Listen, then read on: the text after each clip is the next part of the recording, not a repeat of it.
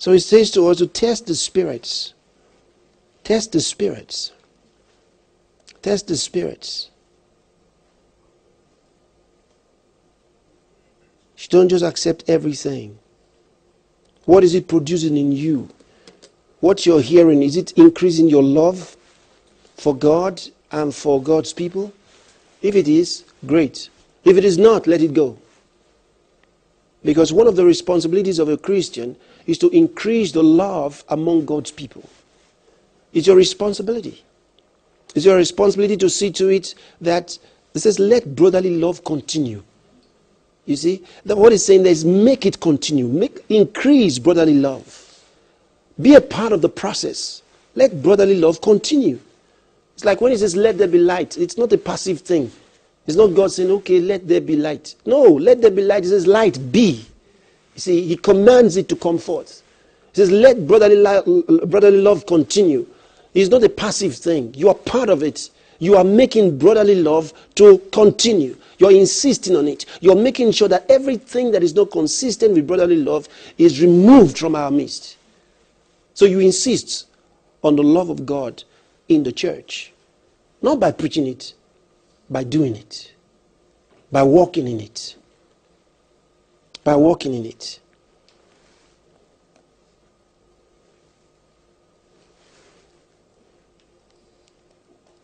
And I will say to every pastor,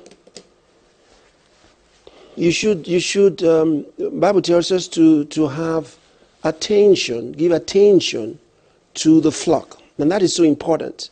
You have to watch the brethren. For example, in groups, maybe like the choir, different groups. You know, we have different we have different groups in church, different fellowships in church. Make sure you disallow, you disallow talebearers. That is very, very important. Disallow talebearers and talebearing in the house of God. Disallow it. I'll read the scripture to you.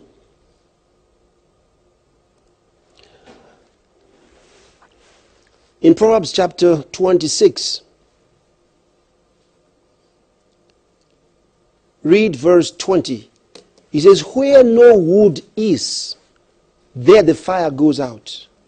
So where there is no talebearer, the strife ceases. Whenever there's strife in a group, whenever there's strife, no matter how large the group is, no matter how small the group is, I tell you, any strife that is prolonged, especially a strife that goes beyond a month, understand that there is a talebearer. Because the Bible says, where no wood is, there the fire goeth out. He says, and where there is no talebearer, talebearer the strife ceases. When strife continues, it means that there is a talebearer. And talebearers don't tell the truth. Talebearers only twist the truth. See? And then they pollute the minds of others. Then you find some people are not coming for choir practice. Some people are not coming to the fellowship meeting. Some people are not coming for this. Some people are not coming that. And then they start giving generalized excuses. They say there's no love in the church. There's no love in the church. There's no care in the church. They say the pastors don't care. Or the leaders don't care.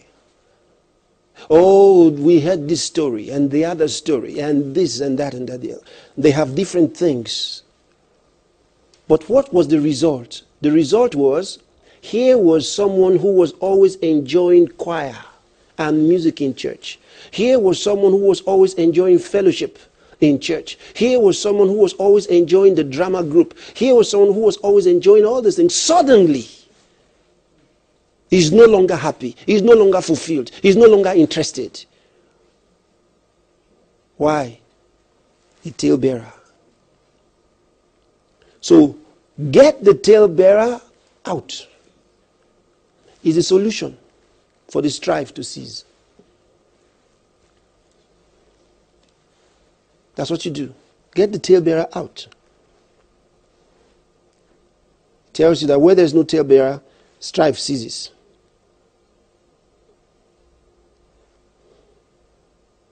Let me show you something. Proverbs chapter 18, verse 8. It says, The words of a talebearer are as wounds, and they go down into the innermost parts of the belly. It says, The words of a talebearer are as wounds.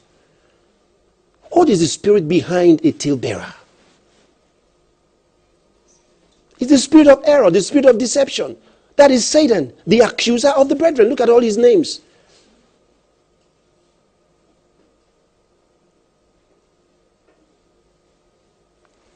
They are the ones that say that uh, in every rumor there's an element of truth. What was the element of truth in all the rumors about Jesus? All the rumors about Jesus, all the accusations of Jesus, what was the element of truth? The Bible says there was no truth in them. Yet they wrote books which are available today, and people are still selling them today and making films based on those books that were written about Jesus in the same time, the same period where you have your Matthew, Mark, Luke, and John. And people wrote about Jesus at that same time, wrote nasty things about Jesus. Bible says, Be not unwise, but understanding what the will of the Lord is. Be not unwise, but understanding what the will of the Lord is. Don't allow talebearers in the church. They are usually sent by Satan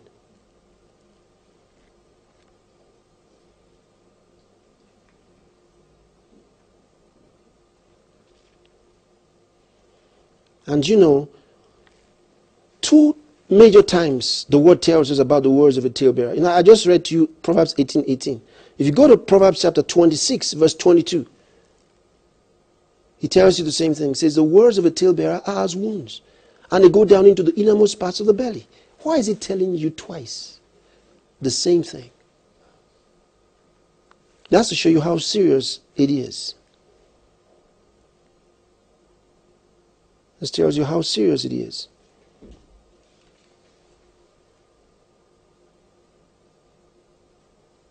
Then look at what you do to him? Proverbs chapter 20, verse 19. It says, He that goeth about as a talebearer revealeth secrets. The interesting thing is that not that the secrets are true, but he always acts like he has information. So he has a secret to tell you, a secret that nobody else knows except him. And he's there to tell you what the Queen of England ate for breakfast. And where does he live? You can imagine. How do you know? He says, He that goeth about as a talebearer revealeth secrets. Therefore, meddle not with him that flattereth with his lips. See, meddle not with him that flattereth with his lips. That means talebearers always act like they love you more. See, they flatter with their lips. They act like they love you more. So Bible says, don't make friends with them. Run away from a talebearer or cast them out. If you have authority over them, cast them out. If you don't have authority over them, run away. And here is the law. In the, in the Old Testament, here was the law to let you know what God thought about them. He says, Thou shalt not, Leviticus chapter 19, verse 16.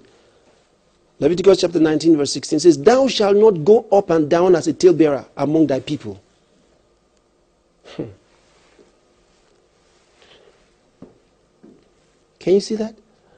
And see the company of those that he lists this with. So read it again. Thou shalt not go up and down as a talebearer among thy people. Neither shalt thou stand against the blood of thy neighbor. I am the Lord. Thou shalt not hate thy brother in thine heart. Thou shalt in any wise rebuke thy, thy neighbor and not suffer sin upon him. See that if there's something wrong, he says, speak to him, rebuke him. Don't hate him in your heart. And don't go about, he says, up and down. And who is the only other one described as going up and down? Satan. God asked him, Where are you coming from? He said, From going to and fro and up and down in the earth. So the spirit of error is the spirit of deception, the spirit of falsehood, which is the spirit Satan himself, the great dragon, the old serpent called the devil, Lucifer, right? Good. And it's called the accuser of the brethren. And you should realize that as you develop, and one of the that's one of the reasons why um, when we teach things like this to our brethren, we are also saving them a lot of heartache in the future. Because what you sow, you reap. If you find yourself sowing discord, sowing uh, falsehood, it means that you're going to reap the same later on somewhere in the future. And that means that when it happens to you, you will be defeated. Why? Because you worked with the same with the same principle. And therefore you cannot win. But those who don't live like that, who don't sow those kind of seeds, it doesn't matter how Satan comes out against them. Because the accuser of the brethren didn't say the accuser of some brethren. So everyone will be accused. Somewhere in your life, you're going to have accusations against you. And because they are satanic in nature, there will be false accusations. See, do you know how many thousands of people, since we started praying, just us, imagine that, since we started praying in 2011, around the world, you've had over 2,000 people released from prison, released from incarceration because of wrongful judgment, wrongful imprisonment, a travesty of justice, miscarriage of justice. And because we've been praying, and are others who are praying, and God has brought many out of prison. Some of them had spent 30 years, 40 years in prison for offenses they never committed. One day they just got into trouble. They were said to have been at the wrong place at the wrong time. And you don't want that to be you. Somewhere on death row for offenses they never committed.